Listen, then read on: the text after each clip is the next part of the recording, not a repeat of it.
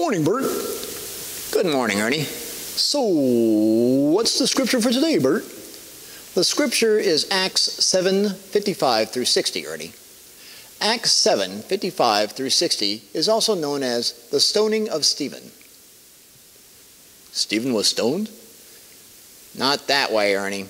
Stephen was assigned with six other men to spread the word of God, and they killed him for it. And do you know who was in charge of this? Who, Bert? A guy named Saul, who later becomes known as Paul after confronting Jesus.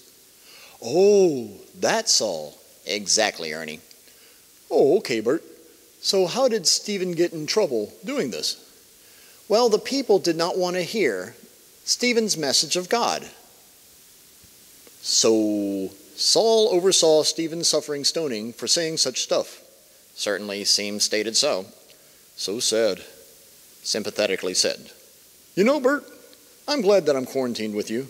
Why is that, Ernie? Because I don't have to worry about getting you infected from saying such certain sentences.